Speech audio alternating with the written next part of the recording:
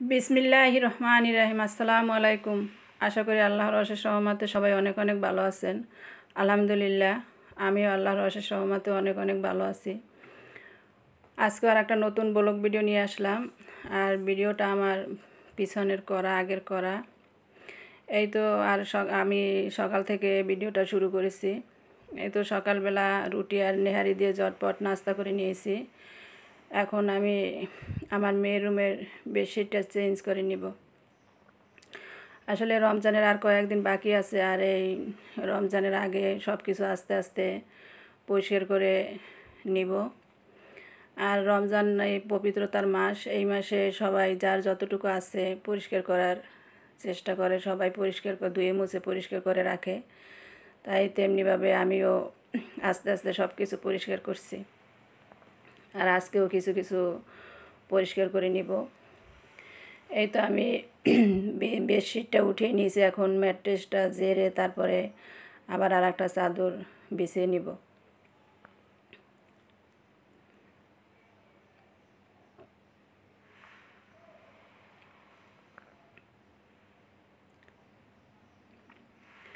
আর সব কিছু তো আসলে একদিনে পরিষ্কার করা সম্ভব না, আস্তে আস্তে সব কিছু পরিষ্কার করতে হয়।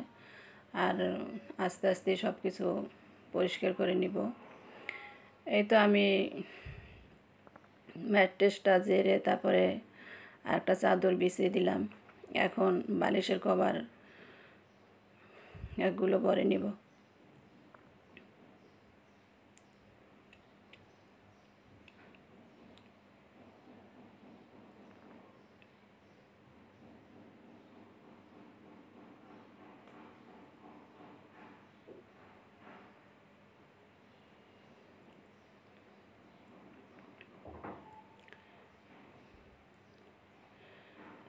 এই তো আমি অন্য একটা চাদর বিছিয়ে, বিছনাটা গুছিয়ে নিয়েছি। এখন চাদর আর এখানে আছে কম্বল আর পরার কিছু কাপড় চোপড়, এগুলো এখন খালাই যে খালাকে দিয়ে দিলাম, খালা ভিজিয়ে রাখবে। ভিজিয়ে তার কিছুক্ষণ পরে আবার ধুয়ে দিবে। আর খালা না থাকলে এই কাজটা আমারও করতে হতো। এখন খালা আছে, এই কারণে খালাই পরে ধোয় এই তো এখন আমি আর খালা মিলে ঘরের ফ্যান আর এসিগুলো পরিষ্কার করে নিব। এই তো খালা ফ্যান পরিষ্কার করতেছে আর আমি নিচে খালাকে হেল্প করতেছি। আসলে এত উপরে উঠে ফ্যান আর এসিগুলো পরিষ্কার করা অনেক ঝামেলা আর কষ্টও মনে হয়। তারপরও এই কাজগুলো করার দায়িত্ব আসলে রান্নার পাশাপাশি ঘরের এই সমস্ত কাজগুলো করার দায়িত্ব আমাদের মেয়েদেরই। আর আমাদের মেয়েদেরই এই কাজগুলো করতে হয়। এই তো আমি এক এক করে আমি আর খালা মিলে সব ফ্যান আর এসিগুলো মুছে নিয়েছি, নিব। আর এগুলো বেশি ময়লা হয় না কারণ কয়দিন পর পর এগুলো পরিষ্কার করা হয়।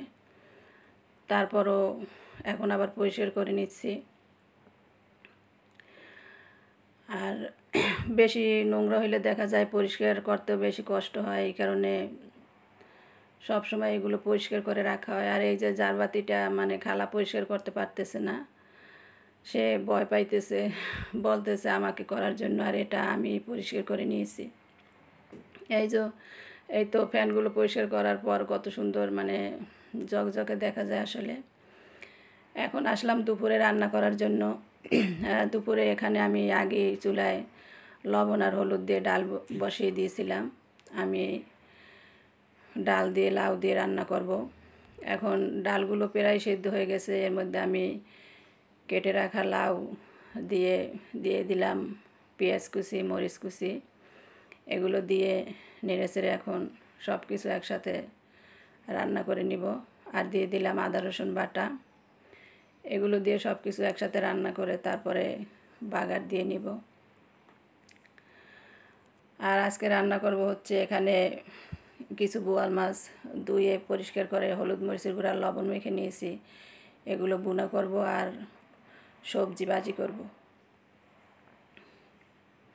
এখানে আছে পাঁচ মিশালি সবজি মানে দুই তিন রকমের সবজি আছে।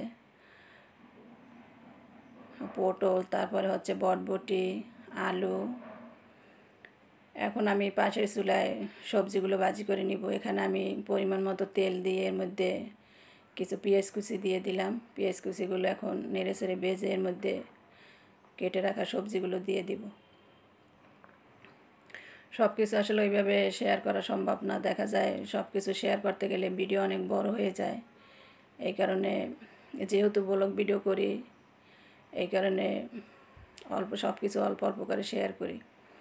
এই তো সব কিছু দিয়ে আমি পেঁয়াজগুলো ভেজে এখন কেটে রাখা সবজিগুলো দিয়ে নেড়ে চেড়ে এখন ডাকনা দিয়ে ডেকে বাজি করে নিব। আমার ভিডিও আপনাদের ভালো লাগলে ভিডিওতে একটা লাইক দিবেন, কমেন্ট করবেন। আর যারা আমার ভিডিওগুলো দেখছেন, এখন আমার চ্যানেলটা সাবস্ক্রাইব করেন নাই, প্লিজ আমার চ্যানেলটা সাবস্ক্রাইব করে পাশে থাকা নোটিফিকেশন বেলটি অন করে রাখবেন পরবর্তী ভিডিওর নোটিফিকেশন পাওয়ার জন্য। আর যারা অলরেডি আমার চ্যানেলটা সাবস্ক্রাইব করে আমার পাশে আছেন, তাদেরকে জানাই অসংখ্য ধন্যবাদ। আমার পাশে থাকার জন্য। এই তো আমার সবজিগুলো আমি বাজি করে নিয়েছি, এখন এর মধ্যে দিয়ে দিলাম কিন্তু কিছু দুনিয়া পাতা কুচি। দুনিয়া পাতাগুলো আমার ফ্রিজে ছিল ফ্রোজেন করা। এগুলো দিয়ে নেড়ে চেড়ে এই যে নামিয়ে নিলাম। আর এদিকে আমার লাউ দিয়ে ডাল রান্না করা হয়ে গেছে, এখন এগুলো আমি বাগার দিয়ে নিব। প্যানে পরিমাণ মতো সরিষার তেল দিয়ে দিলাম। তেল দিয়ে এর মধ্যে এখন আমি কিছু আস্ত জিরা দিয়ে দিলাম। সবসময় আমি সব কিছুতে আসলে জিরার দেই, কারণ এটা আমার একটা অভ্যাস হয়ে গেছে। মানে জিরা না দিলে ভালো লাগে না। জিরাটা আমি আগে একটু তেলে ভেজে নেই, আস্ত জিরা। এই তো জিরা ফুটিয়ে এর মধ্যে আমি পেঁয়াজ কুচি, রসুন কুচি ভেজে আর শুকনো মরিচ ভেজে লাউ ডাল বাগার দিয়ে দিলাম। এখন এর মধ্যে দিয়ে দিলাম ধনিয়া পাতা। ধনিয়া পাতা দিয়ে এখন নেড়ে চেড়ে নামিয়ে নিব।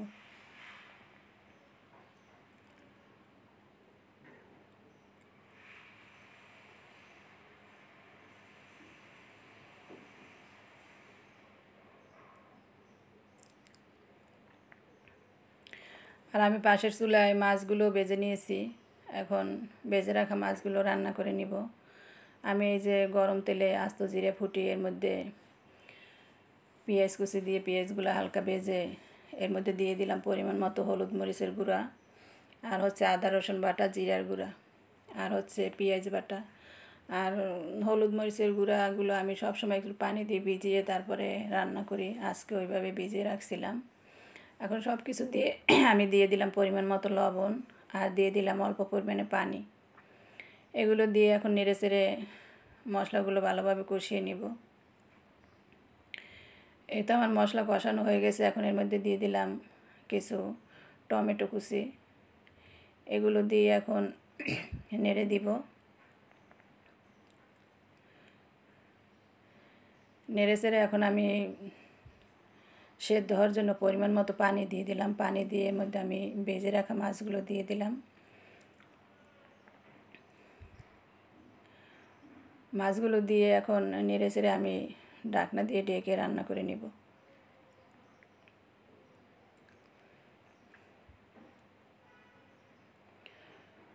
এই তো আমার রান্না করা প্রায় হয়ে গেছে, আমি একটু জল জল রাখব। কারণ এই গরমের দিনে একটু জল জল তরকারি খেতে বেশি পছন্দ করে আমার বাসার সবাই। আর আমি এর মধ্যে দিয়ে দিলাম কিছু ধনিয়া পাতা কুচি, এগুলো দিয়ে নেড়ে চেড়ে নামিয়ে নিব। আর পাশের চুলে আমি ভাতও রান্না করে নিয়েছি। এই তো আমি মাছগুলো রান্না করে নিয়েছি। আর এখানে হচ্ছে সবজি আর হচ্ছে লাউ ডাল। আমার ভিডিও আমি এখানেই শেষ করব। সবাই ভালো থাকবেন, সুস্থ থাকবেন। আল্লাহ হাফেজ। আসসালামু আলাইকুম।